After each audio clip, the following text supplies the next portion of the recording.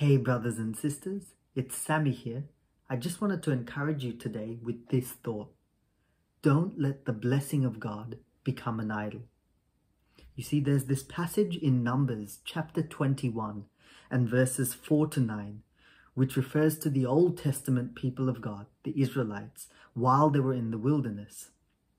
And this was one of the occasions where they were grumbling against God.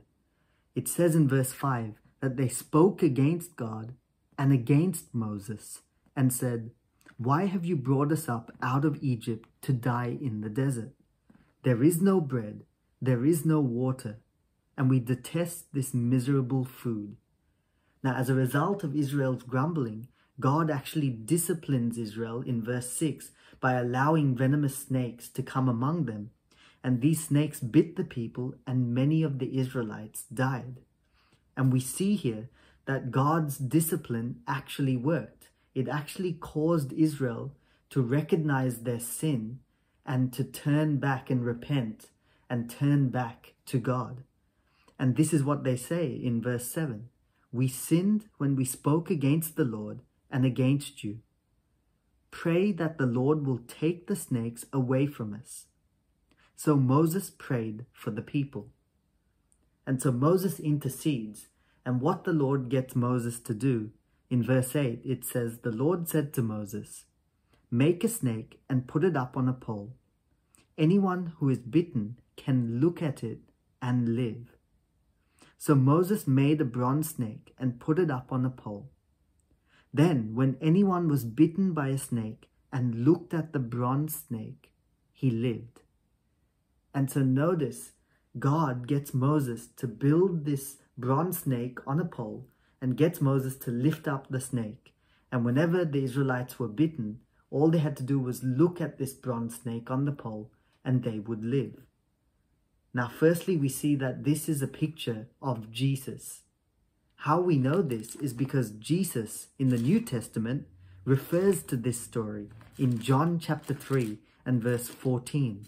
And this is what he says Just as Moses lifted up the snake in the desert, so the Son of Man must be lifted up, that everyone who believes in him may have eternal life. You see, just as Moses lifted up that snake in the wilderness, so that whenever the Israelites were bitten and were going to die, by looking at the snake, they were saved from death.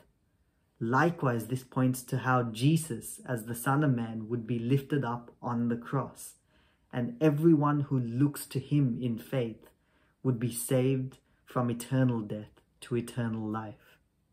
But the main point I wanted to make today was that this bronze snake on the pole was meant to be a blessing for Israel, to bring healing and deliverance from death. But what's interesting is you find in the book of Second Kings, chapter 18 and verse 4, and this was referring to King Hezekiah, who was a good king in Israel when Israel were in the land. And this is what it says about King Hezekiah in verses 3 to 4 of Second Kings 18.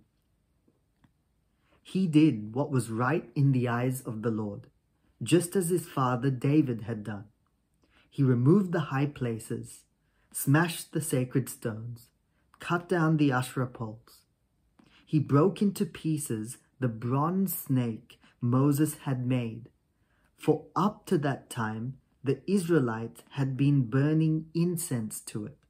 It was called Nehushtan.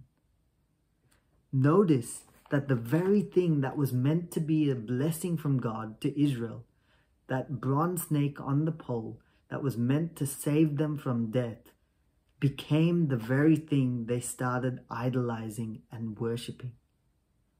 And so I wanted to encourage you guys today don't idolize the blessing of God.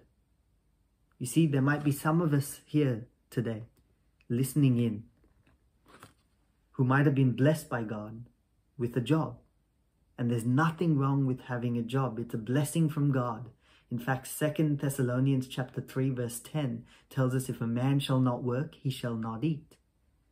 But so often we can start working so many hours in that job that all of a sudden it takes time away from attending church on a Sunday and also takes time away from being able to spend intimate, quiet time with Jesus each day. That job becomes so busy and we spend so many hours each week in that workplace earning money that it takes us away from seeking Jesus. And so the very job that was a blessing from God has now become an idol that takes us away from God. You know, there might be some of you here, some of the guys who have been blessed with a godly wife.